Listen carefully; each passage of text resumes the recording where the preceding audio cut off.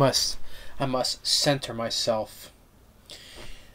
I said before I was I was disappointed in this movie for how far disappointed I was in this. I said I was gonna review this towards after when I reviewed the the the sequel. I reviewed the sequel, but I said I'll review the first one in the year 2020. Like I said, so I'm getting so I'm keeping that promise on that. I didn't want to rewatch this again because, like I said, I was so so disappointed in this. Just when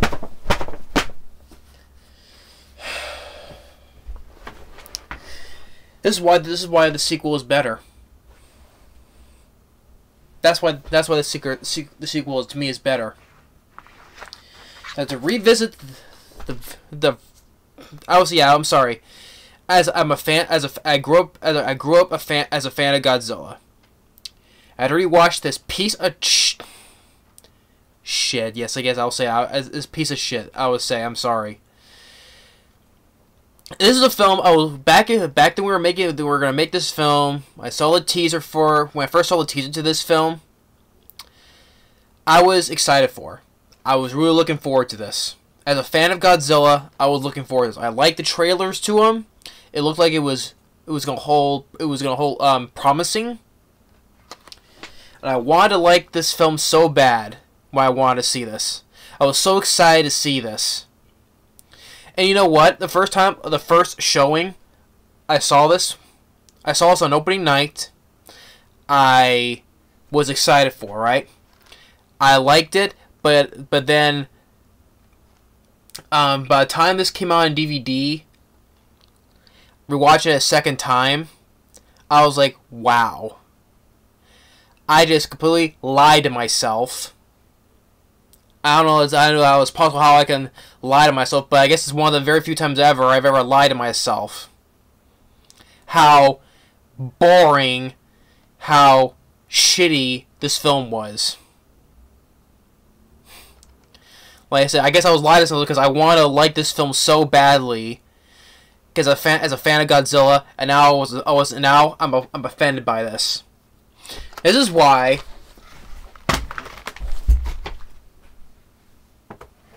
As people this film okay. They say they wanted to do a, like a take on the original. Here's the original. Classic a classic masterpiece from back in the day. Creating one of the most classic icons ever in film history. Now this film gets the pass now i don't understand why this one gets the pass from critics 75% Rotten Tomatoes, 6.4 on IMDb. This gets the pass. Now, I'm sorry to say this is this is miles better than this piece of than this boring ass film. This is miles better. I'm sorry. You can disagree with me all you want. But I grew up loving this film. One of my all-time favorite movies. I love this film to death. One of my all-time favorites miles better than this piece of trash. Disagree with me all you want. That's fine. That's all. That's what we're here for. We're here to agree or disagree. This film was miles better because either the cast was better. Godzilla, he's in this more time, has more screen time. This Godzilla more than this one does. And this is a two-hour movie, and so is this. But this is here is much more, much faster paced. Um, the actions I enjoy. The action scenes I enjoyed. The cast I enjoyed. But I enjoyed Matthew Broderick. I enjoyed uh, Jean Reno, Jean Reno, Hank Azaria, Kevin Dunn. Even Maria Pitillo, who I still say one of the issues of the film is, is Maria Pitillo. I still find a, still, still kind of find a better actress though. But even she, I would say, a pick better than most of the cast is in this movie. Um, well directed by Roland Emmerich. Um, there was still good, good usages of practical stuff in the movie. And people, yeah, people still hate the idea of the baby Godzillas, but I that never bothered me growing up. I was so also one of the greatest movie theater experience I had when I was a kid, still to this day. Um, even there were there, but there was still a good use of practical stuff with the baby Godzillas, and there was like a, a little bit with with our Godzilla. And I'm sorry, I hate and I and I hate and I, I'm still calling this Godzilla. I hate when people call this this thing Zilla. You know, take out Godzilla, take out Zilla. I hate that freaking name. My brother says it all the time because that's what he calls it. Same with his friends. I hate that freaking name. So, this film, yeah, Matthew, and Matthew Broderick is a better is a better lead. People say he's miscast in this. I'm sorry, he's a much better lead than Aaron Taylor Johnson is. He's a much better lead than Aaron Taylor, Aaron Taylor Johnson is. I love this on the death. I reviewed this, even revisit this twice, even even to the 2018 for the 20th anniversary for this. So, and then this, I really said I reviewed this, uh, just just like just towards it for my uh, towards the end of 2019. And this is my this is my top favorites of, of last year. This I got complete opposite than what I got from this, because yeah, the human cast I thought was much better. Uh, I like Kyle Chandler. I like Bradley Whitford. Charles Dance for a little bit he had, he was good. Um, even even Ken Watanabe, who was uh, Ken was in this as well he was given much better, more ado than this film than he did in this. Especially with this uh, great scene where he sacrificed himself to re revive Godzilla. You know, goodbye, old friend. And with that great score by Bear McCree. Yeah, and yet, and yet, this film underperformed and got negative reviews from critics. And while this film, yeah, basically, basically critics took a shit on this, but this got the pass. So, now how many minutes and I'm, I'm now talking about the film. Okay. I will, and the, and I'll say that okay. What are the what are the, what are the price I give it? The effects looks pretty good, and I never and one thing one thing I always thought was I never I never mind this look of Godzilla. I thought this Godzilla design looks pretty cool. People say he was always say he was fat. He never looked fat to me. I like this. I like this look of Godzilla. He looks pretty. He looks cool. He looks cool. Nice. the effects pretty good. Um, the little piece of music, like the opening by Alexandre Gosplat. I like the opening music. You know, dun, dun, dun, that was a piece of good piece of score from him, but the rest of the score was pretty almost like kind of forgettable. And the best part of the human cast is definitely, but probably probably a lot of people will agree, uh, Bryan Cranston. I think there was a it was a because every people have seen this film by now. We know we know all about what happened with Bryan Cranston. He was the best best part of the movie. I think he should I think he should have stayed as the lead, not Aaron Taylor Johnson. Wish he maybe he would have died and him being the lead. Because how it opens, it opens up with the credits, you know, with you know the black and white of the atomic bombs trying to kill Godzilla. You see Godzilla just when he was about to rise up, then the, before the atomic explosion happens. And that's another thing. This was over a two-hour movie, and if you didn't hear that, I'm cracking my neck because this film was making my neck stiff. This is over a two over two hour movie, and Godzilla's only in this for like five minutes at most. And the first what forty? What was it? Thirty to up to forty? No, no, more than thirty. I would say about forty to forty-five minutes. No Godzilla. I don't think they even mention him. They don't. If I remember, they don't even mention him. Uh, that his name until like later. I've I've seen I've seen most of the Godzilla films. There's still quite a few I've still not yet seen because you know over the years, but I've seen most all. I pretty much see about seen about 95% of the Godzilla films. And in which those films are much more shorter movies as well, but those are much more fa faster paced though. And Godzilla had more screen time in any one of those movies than this one. I remember this is, a, this is the first Godzilla film I've seen with barely no Godzilla in it when, when the film is called Godzilla. Bryan, okay, but, but how it opens up, I like the opening, how it opens up because uh, with Bryan Cranston He has he works at the power plant in Japan.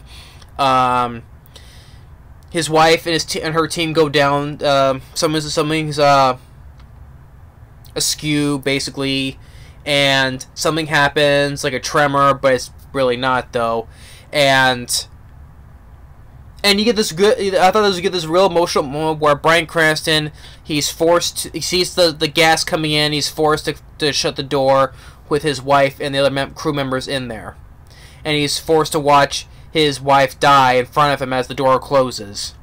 And you get the real good emotional scene, dramatic moment from Bryan Cranston. He did a really good job. He did he did a really good job. Probably anybody would say he was the best part of the movie but he still did a good job. And it's years later, and now this his kid, Ford Brody, because uh, I remember uh, Brent Cranston's name is Joe Brody, because Brody, named the Brodies from Jaws. This is supposed to like a take of what on Jaws and Aliens. Like, you knock off two good movies, but you make a shitty movie. Baron Taylor Johnson, he's in the military, and his wife is played by Elizabeth Olsen, which importantly, these two worked better. These two, Elizabeth Olsen, funny enough, yeah, these two worked better together when they started an Age of an Avengers: Age of Ultron, and yeah, and that was the only time I uh, I give Aaron Taylor Johnson a pass. I thought he was decent as Quicksilver, and Elizabeth Olsen I liked as uh, Scarlet Witch. But here, but besides, I don't. Besides, other than that, other than the decent role as Quicksilver in Age of Ultron, I don't care for De- Taylor Johnson anyway. I thought I did not. I do not like Kick Ass. I, I thought he was. I thought he sucked as Kick Ass. And he definitely sucked in this film. And it's kind of funny because you know he's British and all that, but I just tried for him to find it hard to take him seriously trying to carry an American American accent. Uh, but um. But these two, I thought I watched better than they did, they did better in Age of Ultron. And this, but Aaron Taylor Johnson, Aaron Taylor Johnson completely sucked ass in this movie. He was a boring lead, wooden. Gary bears like bears like no hardly any emotion to him. Just has that most that straight face right there for the most the entire movie. But uh, he go he goes in because of his to get his father out of custody because he was arrested for snooping around. Because all all this time he's been obsessed, you know, about what about what happened to his wife, and he's been investigating about what really happened at the plant. You think it wasn't it wasn't just a tremor, an earthquake, something else happened, which we know is when we cut to Ken Watanabe and Sally Hawkins, because playing her assist his assistant, because Sally Hawkins, they're both in until the sequel, and but Sally Hawkins dies in dies by King Ghidorah in King of the Monsters. But uh, they find these find this egg and which it, which it turns out to be a Muto. I just want to burp on this movie.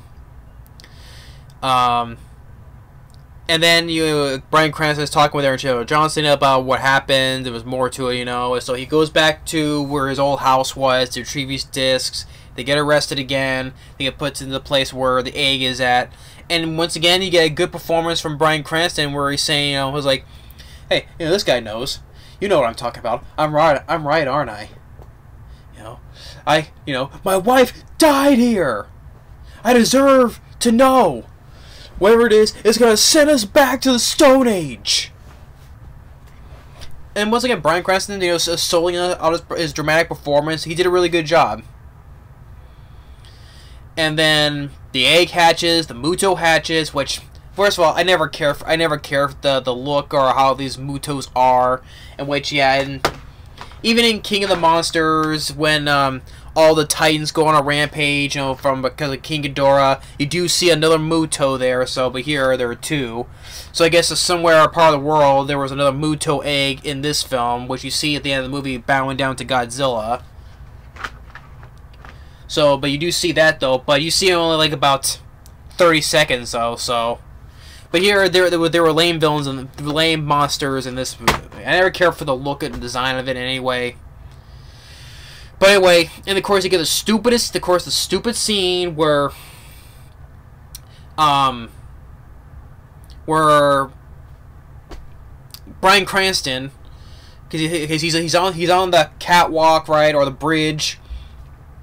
He calls out to his son, and then the, the thing collapses with him on top of it, and he gets crushed. But they get him out there, and he gets onto the helicopter. And then the Muto escapes, and then tells his son I love him. Then he dies.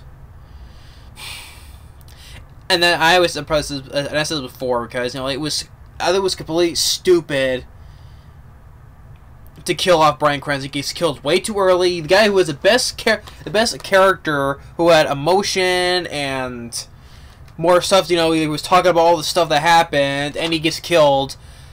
He he dies before Godzilla enters the picture. He his character never got to see Godzilla that would have been cool, you know, to see, oh, the reason, oh, for all this, you know, not because of the Muto, but also this other big creature that also was also in the ocean. Bryan Cranston never got to see Godzilla. Never, he dies before he comes in the picture.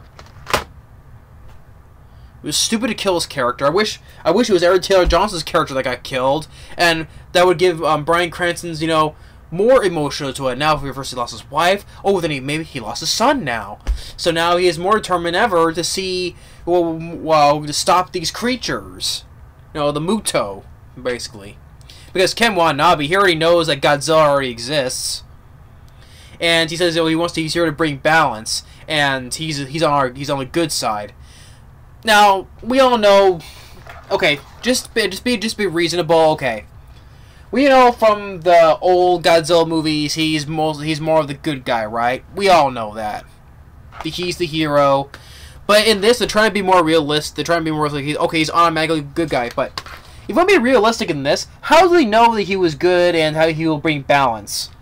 Do they not, how do they not know that he will be good? Not how will he not know if he'll now if he just takes care of the Mutos? How will he know that he will not turn and go and destroy the rest of the world after he taken care of the Mutos?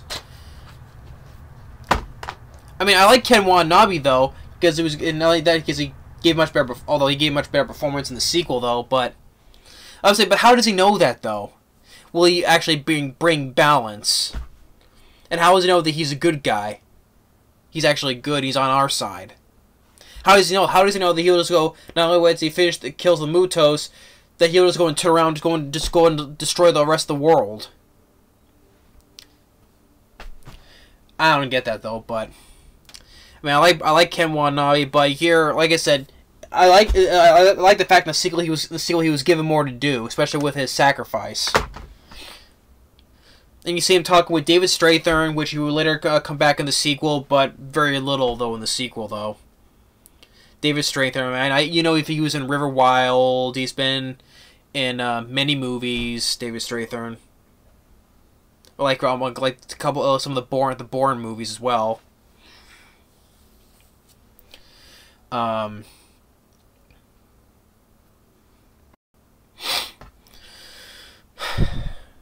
so after Bryan stupidly dies early, then when they finally mention Godzilla, but when they're in a meeting, because this is hardly like over or like 45 minutes of the movie, there's no Godzilla until like, they brought his name up in the meeting, showing footage.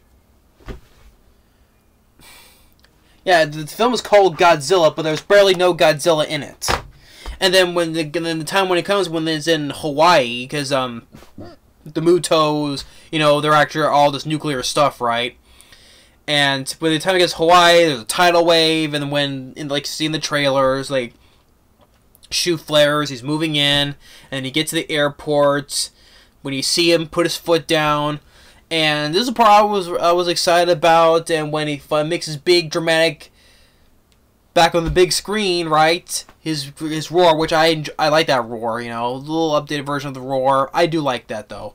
Nothing else to the classic roar though, but still. And then just freaking just cuts away.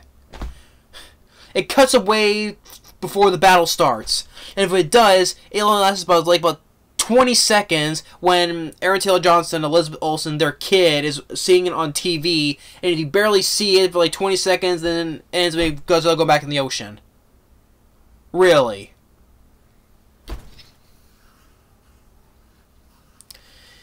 So just the first time, first time this big, big fight, and just freaking just cuts away, and it doesn't do it the first time. It does it a second time when they're in San Francisco when Elizabeth Olsen, because she's a, she works as a nurse or doctor, and when they're being when the town when the city's being evacuated, they go into these uh, tunnels, and when the door closes, as the doors are closing, the Godzilla's about to ready to fight the Muto again, and the door closes before it begins.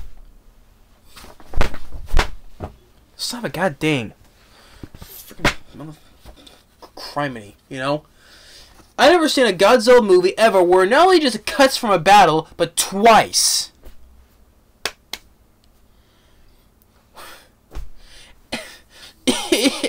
it makes it makes us just make me choke on this on this bitch basically. Man it's trying to make it's trying to make me choke. And so you, first it gets us all hyped and then it freaking just cuts away calm down. It's just only just a movie, I know. But it should not be doing that when you're a Godzilla film. You don't cut away your your Godzilla fights twice. So even before they get to San Francisco, they're they get this try to get the nuclear uh, bomb on a train. Does catches fire to the Mutos, and Aaron Taylor jumps off the bridge. Then it falls back to San Francisco. Um, then that's when they you know when they dive down you you see them kind of them kind of fighting each other but it's too shaky when they're, because they're diving down so you can barely see anything through the smoke. And then Godzilla falls you know gets his ass kicked. That's like Godzilla yeah he gets beaten a little bit but he does more than he did in this movie.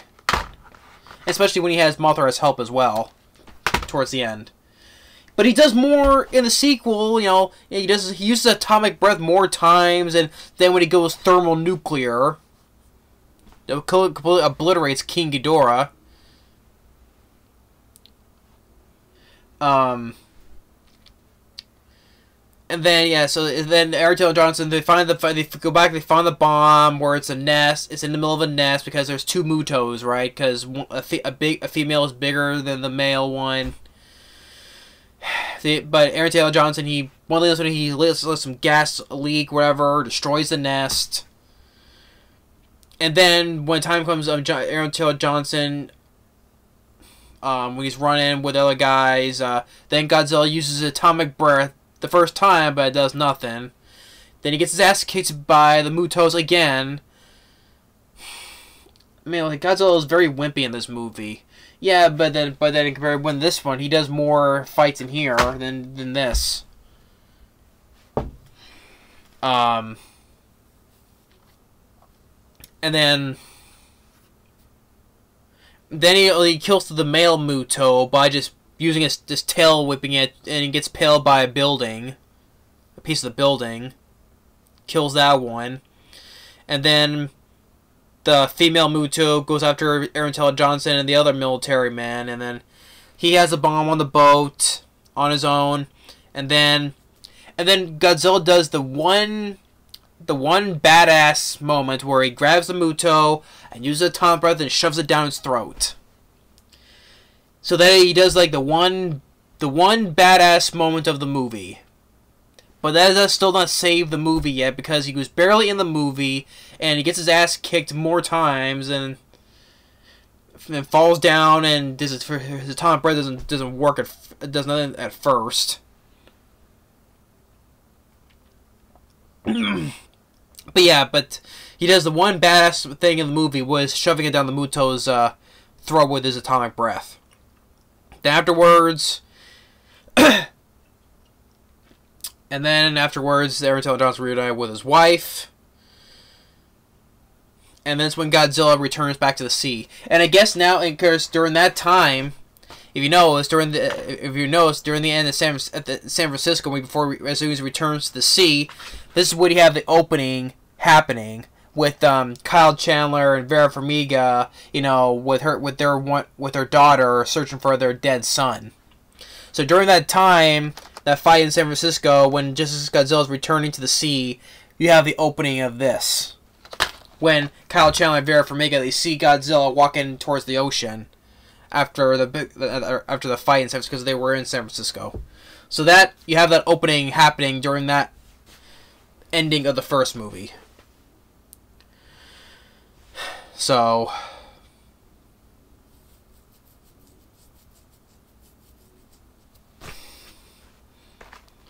This is the Godzilla. This is the Godzilla fans have been waiting.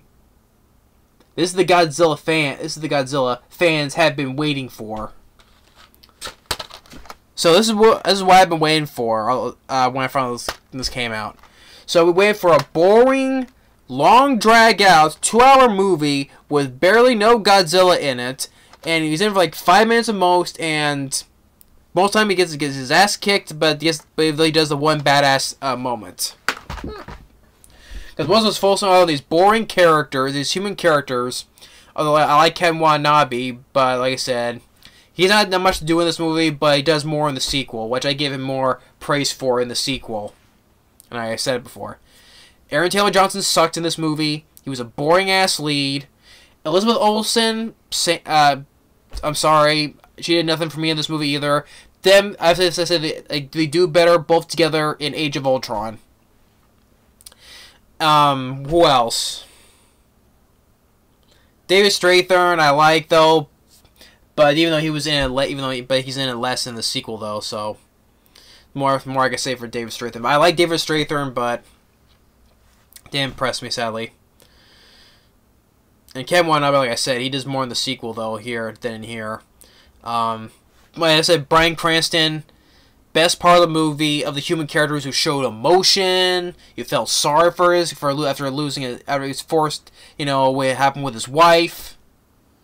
But then he stupidly get dies on a freaking bridge. on a freaking bridge. Well, he, we died like hell, but he fell on, from a bridge. Reminds me of the stupid scene of what happened to Captain Kirk. Died on a bridge. Don't to be reminded of that. I just I, I wish I wish it was Aaron Taylor Johnson who got killed and not Bryan Cranston because otherwise that would give him more motivation. Goes oh he lost his wife and he lost his son. That would gives him more emotion to, to, to stop to stop what happened to, to stop what happened. So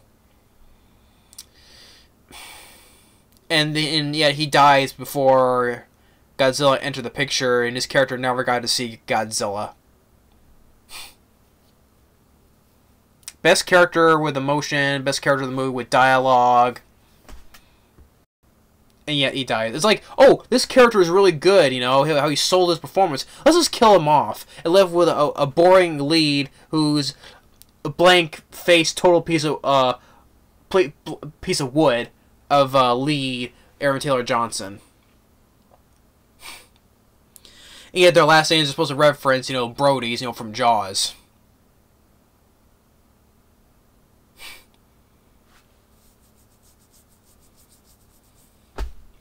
And this film gets a seven, gets a seven, gets a seventy five percent Rotten Tomatoes, while King of the Monsters gets like a, like a thirty seven percent Rotten Tomatoes.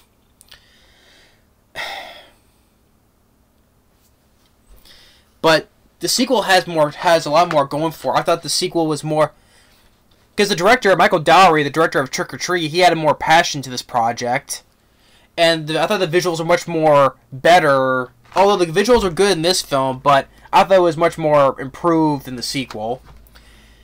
He was much more passionate about this project. Here I felt no passion, such as this directed by Gareth Edwards, who later go on to direct Rogue One, a Star Wars story, which I hated. I hate, I hate Rogue One, a Star Wars story. It was a pointless story to tell. But here was, I thought was the pace was much more faster. The human characters I liked more, like Kyle Chandler, Charles Dance. Even uh, Millie Bobby Brown, who plays the daughter Madison, I, I liked her. Ken Watanabe, like Ken Watanabe, he was given more due, especially that great moment when he, when he self-sacrificed himself with that great score by Bear McCree.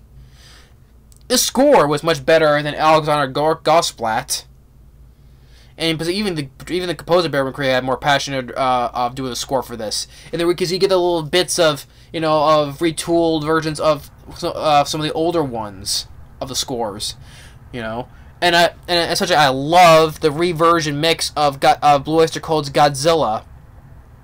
The original is a classic, yes, still, but I I of uh, but I really loved how they did the re, a, re, a reversion retooling of Godzilla. Whoa, no! They say he's got to go, go, go, Godzilla. Oh! That was the be- to me. That was the best song I've heard in 2019. I I can't praise that song more enough. Yeah, this is more of a passion. Here, I felt no passion in this. So yeah, this is to me this is a huge improvement or step up than the previous film did. And yet this film underperformed. Weak opening, lower uh, total than the previous film did. I mean, the, that film what cared about 530 some million. This made about 385 million. Why? And here, like especially with Godzilla, at the moment when when uh, um, we completely obliterated uh, King Ghidorah by going thermonuclear, and yet all and all the monsters, including Rodan, bowing down before him. So, and I like Kong Skull Island. I, do, I like Kong Skull Island better than the twenty than this. I just hope that I just hope that Godzilla vs King Kong doesn't disappoint. I just hope it doesn't. So, but, I, but I'm also skeptical because it's directed by Adam Wingard.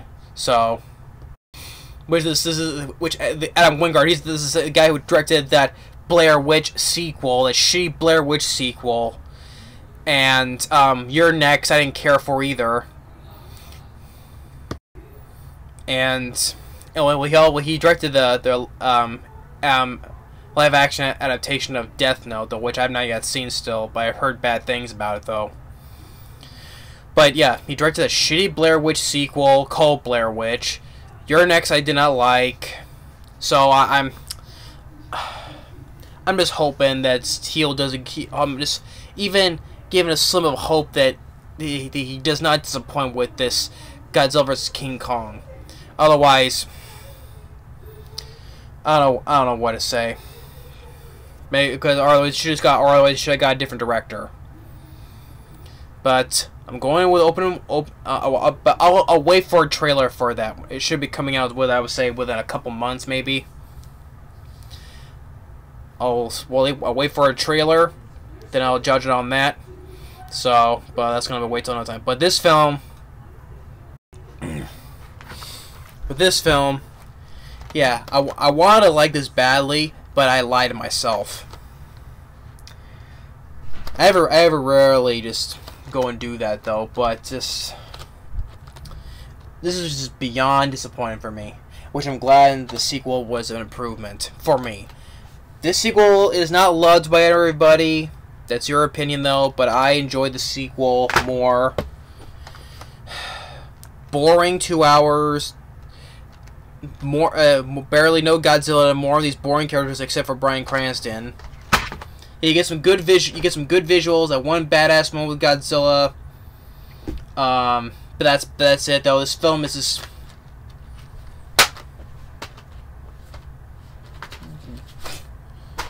Yeah.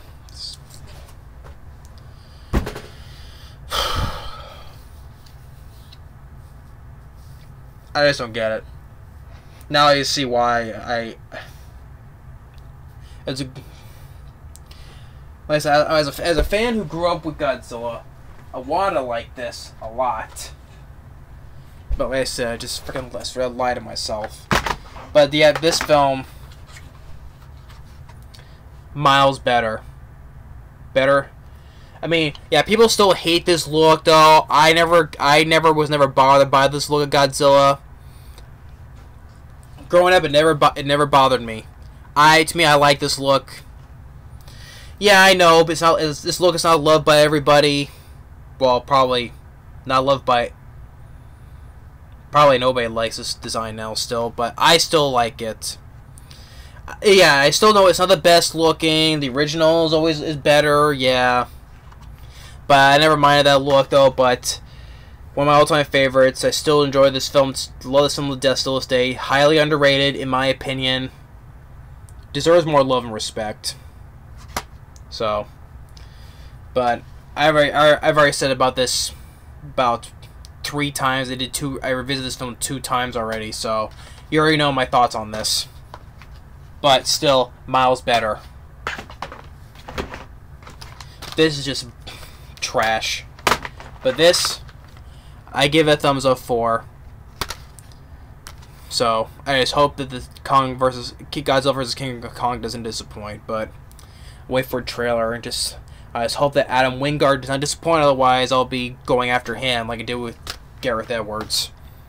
I hate Rogue One, a Star Wars story. I don't like this film. Dis beyond disappoint one of the most one of the most disappointing films I've seen in my life. Now, if I had made a list, I'll probably put this up up there. But I'm glad this this film to me was an improvement. Go go Godzilla! And I still and I still love that song. But wait, you but that's my that's my my ranting thoughts on the 2014, which I wanted to do so because I reviewed the sequel before, but I wanted I did that just to get away from my one of my favorites of 2019. So I said I'll review the, the, the previous one, and here it is. But if you like the film, that's in you, that's your opinion. More power to you. I will just disagree. I will understand it though, but I'm not disrespectful though. If you like the film, good for you. I respect that. But thanks for watching and stay tuned for next movie review. Later.